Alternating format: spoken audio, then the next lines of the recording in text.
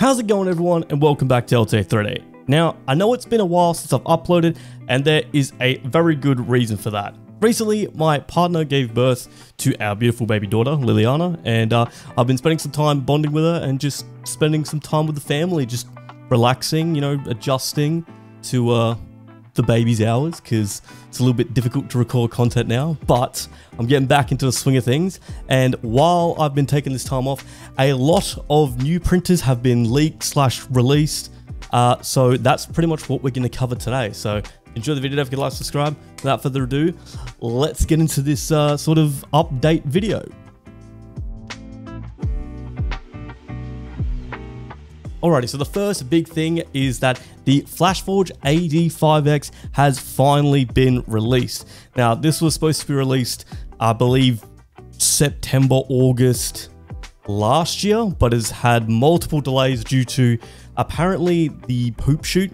The purge chute wasn't um, working well with TPU and it was marketed as a TPU 3D printer, but apparently they fixed that and you can now purchase it for 599 AUD uh, and currently, you can also get $50 off by using the code UNLOCK85X. So if you're interested, picking up one of these printers, I'll have it linked in the description down below. Uh, it will be an affiliate link. So if you also want to help out the channel, really appreciate it if you use that link when you buy it. Um, but uh, I'm really hoping I can get my hands on one of these because uh, I would like to compare it with the 5M and sort of just just see if it's actually worth the purchase.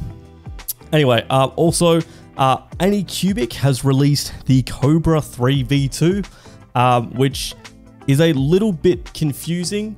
I know that a lot of people are kind of like, why have you sort of released almost exactly the same printer? I know they've said there were some upgrades, um, but I found their comparison table on their website a little bit difficult to uh, understand what has been upgraded. So I asked good old fashioned chat GPT to sort of give me the key differences. And uh, here's the key differences. So the Kobra 3 V2 offers a slightly larger build volume uh, of 255 by 255 by 260 as opposed to 250 by 250 by 260. It also has auto leveling enhancements. Uh, there's apparently hardware structure optimizations alongside the LeviQ 3.0 auto leveling, providing improved leveling precision. Whether that's the case or not, I'm not sure. I probably won't be getting one. I've got a Bambu Lab A1 and I'm quite happy with that. Um, there's also apparently a 720p camera included, whereas in the old uh, Kobra 3, it was an add-on. Uh, it was an optional add-on that you had to purchase separately. Um, I believe that is pretty much it. So, not a massive change, not really anything super special as opposed to the other one, just slightly, you know, bigger build volume and has the camera that comes with it. So, yeah. Uh, now, one thing that I don't know if any of you guys have seen or whether you've you are aware of this. I saw this quite a while ago, but I didn't want to comment on it because I wasn't sure if this was some AI. This was when a lot of AI leaks were coming out, and I wasn't sort of going to jump on anything unless there was a bit more information released, but nothing's been released yet. But over on Reddit, apparently this was released in a WeChat group uh, that Xtool and Snapmaker are working on a 4 tool changer, I believe, uh, which would be very interesting. I was going through the comments here trying to see if there was any other information. I saw that someone said it could be 270 cubed, but obviously this is just speculation. There's no actual specs for it yet. But uh, if I see anything or hear anything, I'll um, I'll do another update video on just the uh, Xtool slash Snapmaker collab. Uh, another thing which I don't know if many people are aware of, uh, there's a company I believe called 3Dpany, like company 3Dpany.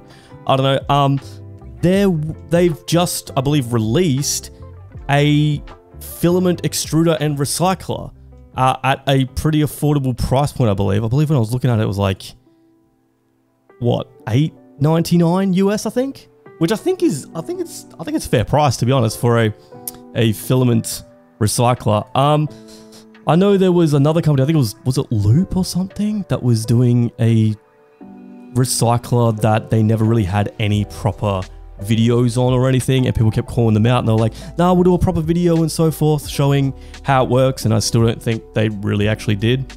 Um, in this case, I found out about this just by scrolling on YouTube.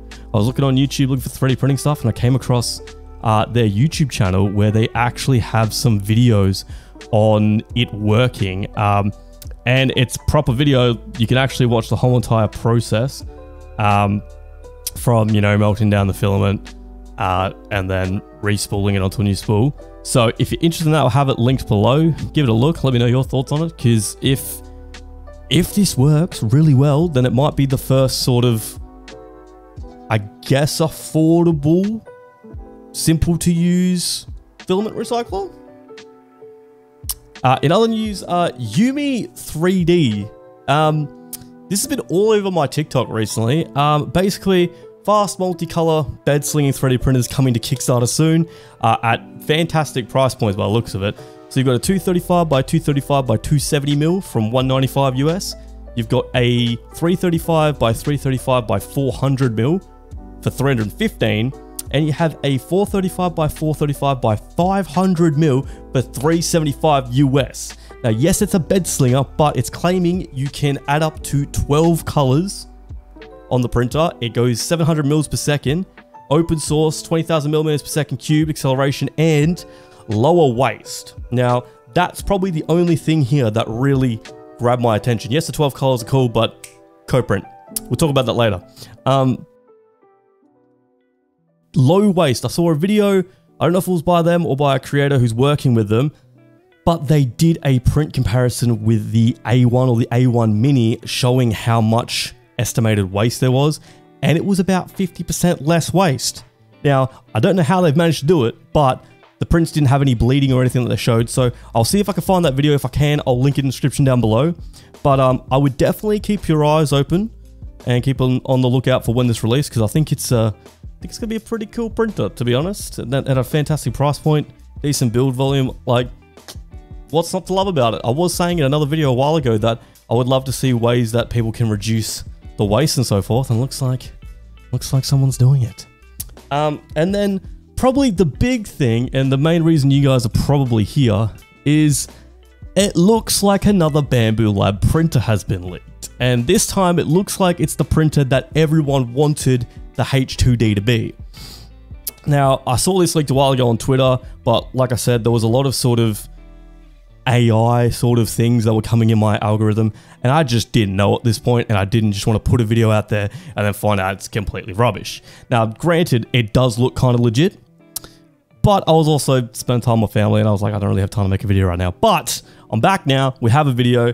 Um, the cool thing about this, and probably the big thing about this, is in the bottom corner there is 340 mils. Now, we don't know if that's 340 mil cubed. I'm going to assume, since it's a single head, it's probably three more like 340 mil cubed. Um, but it looks like similar internals to the H2D, and it has essentially the hot end of an A1. The whole extruder head looks like an upgraded A1 unit with a little um, LiDAR on the right side of it. So it should also have the same hot swappable hot end as the A1. And if so, this is definitely going to be what people want.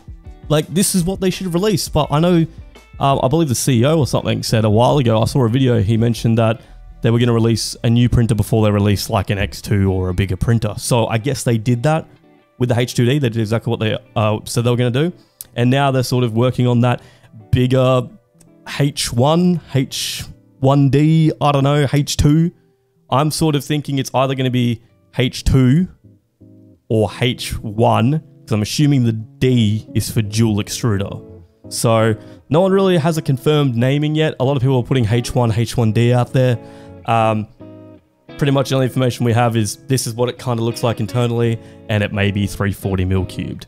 Uh, if I see anything in regards to this or hear anything, obviously I'll put out another video because this is banging views right now, let's be real. Um, and it's what everyone wants. So I'll definitely release another video in future.